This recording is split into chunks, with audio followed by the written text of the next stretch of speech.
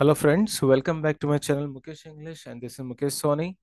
In this video, we'll have the discussion of the important questions of the famous lesson All Creatures Great and Small by Ruskin Bond, which belongs to the first semester BCom BBA Generic English under Bangalore University and Bangalore North University.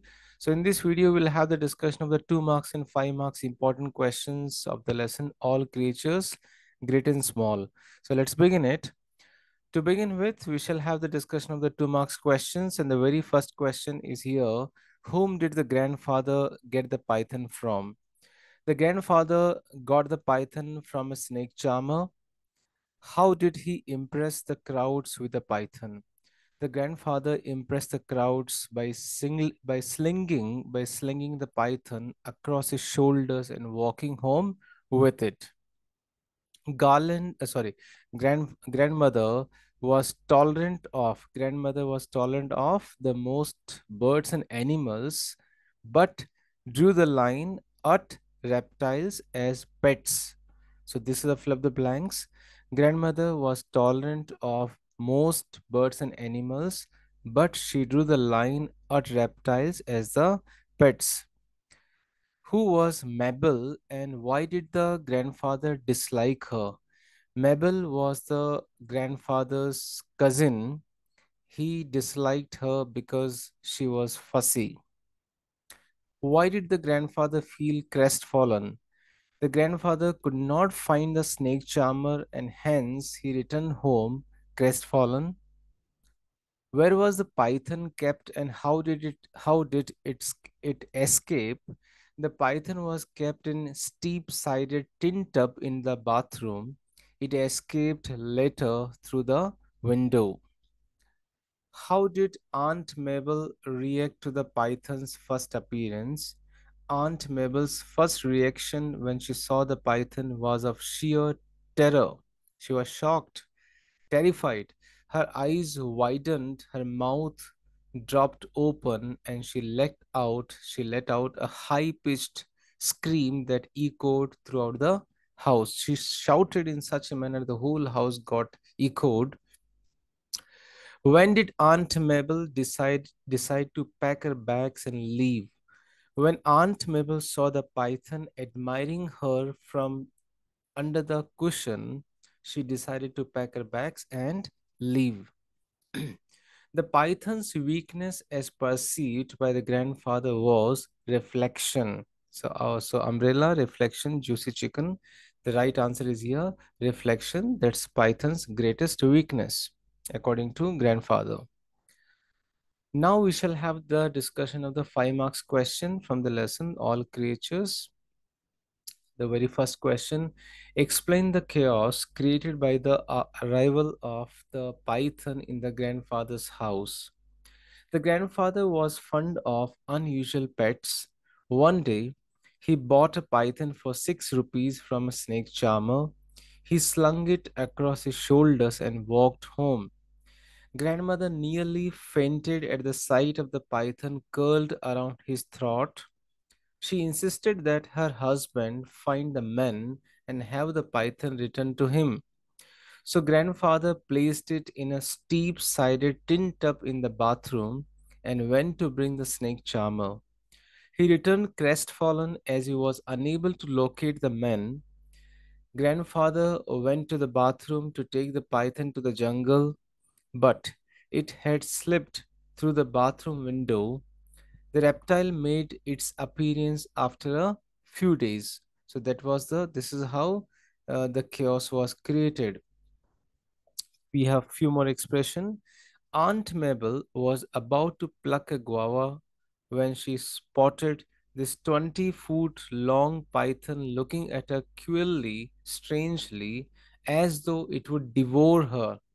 Soon it began to make a series of appearances often in unexpected places. It was found the next morning on the dressing table, gazing at his reflection in the mirror. Later, it peeped at Aunt Mabel from under the cushion. The entire household tried to locate it at different places. Finally, A cage was set up with a mirror at the at one end.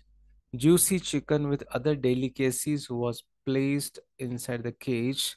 The python was finally trapped and released into the jungle, and it was still enraptured with its own reflection in the mirror. In this way, the arrival of Python has created a chaos in the grandfather's house. Question number two Describe Aunt Mabel's reaction to the presence of the python. Aunt Mabel was a fussy woman who had come to grandfather's house for a three week stay.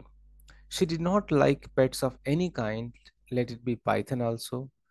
A few days after her, her arrival, the elusive python made its appearance.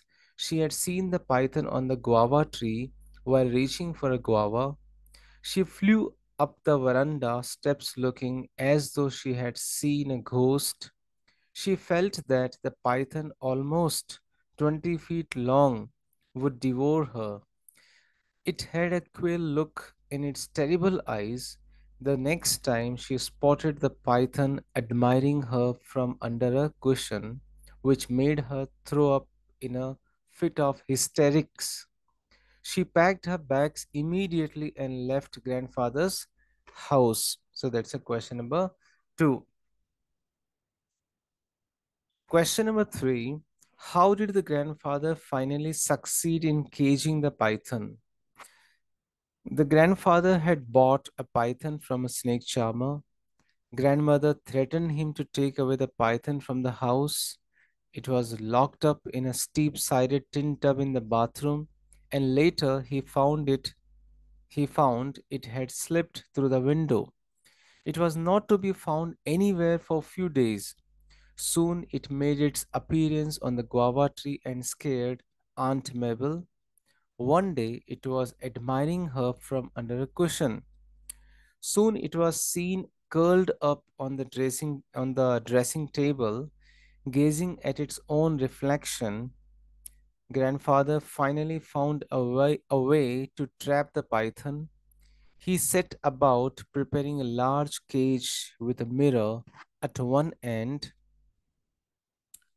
he left juicy chicken and various other delicacies and fitted up the, the opening with a trap door.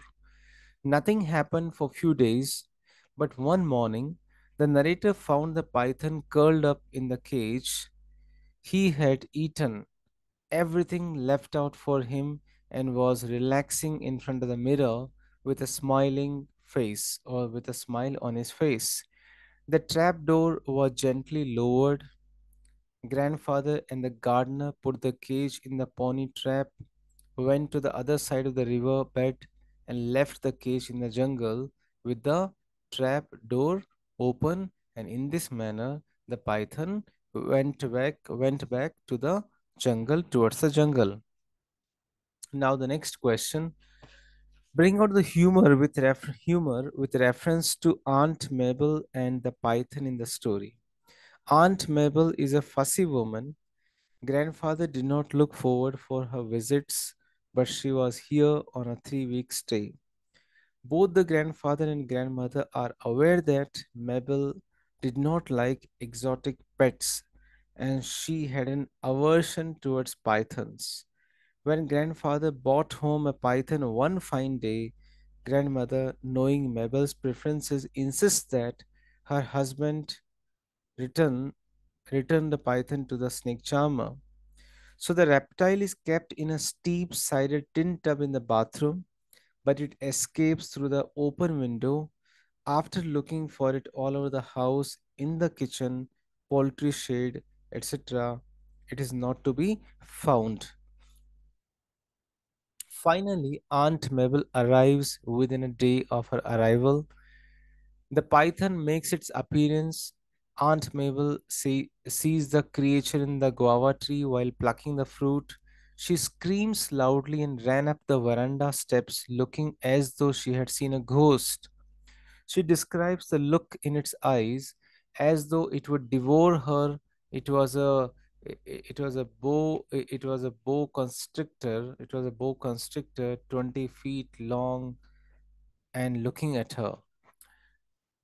In a in a very strange manner, grandfather goes to the tree to kill the python, but it's it disappeared, and Rusty comments that she must have frightened the poor creature away. Soon the python began making a series of appearances, often in unexpected places. Aunt Mabel had another fit of hysterics when she saw him admiring her from under a cushion. She packed her bags and went back home. So, friends, this is how I have solved the questions from the lesson All creatures, great and small, or small and great, were Ruskin Bond. And all the other lessons, videos, links, you can go through the description box or the playlist on my channel. Thank you so much. If you like the video, subscribe the channel. If you like the video, click on the light, uh, sorry, like button. Write in the comment box your suggestions or whatever, however you feel about the video and the other videos. If you have any questions, you can reach me to my email ID, to my email, uh, email inbox, mukeshenglish at the rate of gmail.com. Thank you so much. Wish you good luck for the forthcoming examination.